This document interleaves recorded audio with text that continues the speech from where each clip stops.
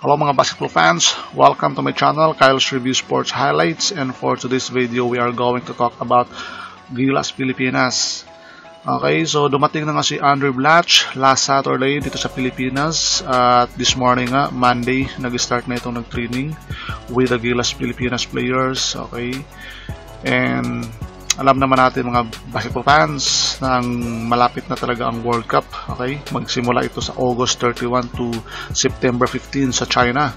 Okay, meron pa silang one month or almost one month para makapag-ensayo before the World Cup mga basketball fans.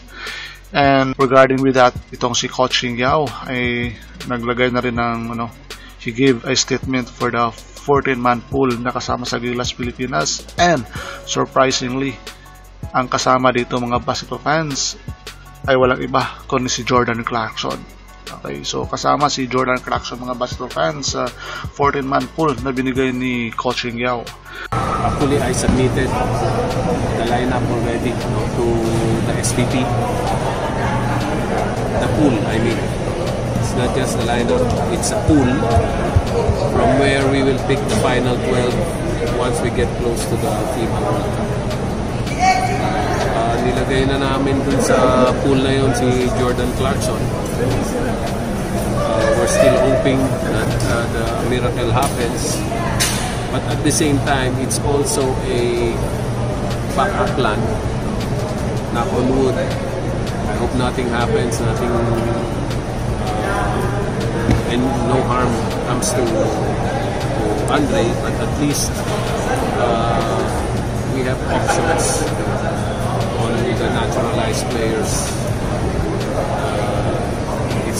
anything, if, if, if uh, anything untoward happens. But uh, we're hoping, praying that uh, we, we all stay healthy. So, uh, coach, ano, aside from uh, Jordan and Andre, sino pa po yung part ng pool natin? At na sinabi Hindi ko pa masabi yung iba, maano ko lang yun kasi that's still for the final approval of uh, the SVP and MVP. So once uh, they approve that, I submitted it today, sila na magre-release ng final pool.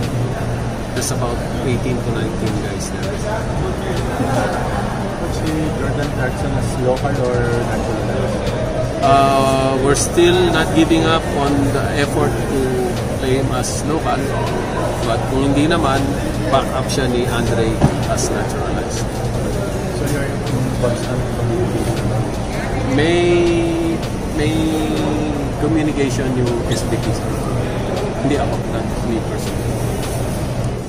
Okay, so kasama nga dito sina John Marfardo, Japet Aguilar, Poy Iram, Troy Rosario, Gabe Norwood, Paulie, Mark Baroka, Marshall Lassiter, R.R. Pugoy, Ravina, okay, sina Matthew Wright, and PBE rookies CG Perez, at itong si Robert Bulik, mga basketball fans. Okay. okay, alam naman natin mga basketball fans na naglabas na ng statement ng FIBA na hindi talaga pwede itong si Jordan Clarkson na maging part ng Gilas Pilipinas. Pero 'di ba, baka merong milagro, no? Baka merong miracle na mangyari before the Gilas Pilip before the World Cup.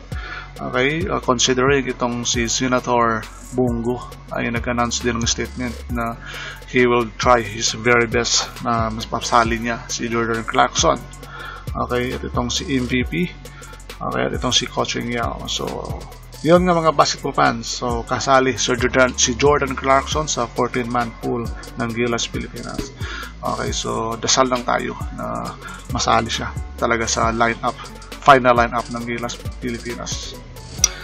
Alright, so yan lang mga basketball fans and shout out sa ating mga followers dito sa ating channel uh, Boss Russ Elhams and Bossing Yuan Pina. Thank you boss for always following my videos in this channel.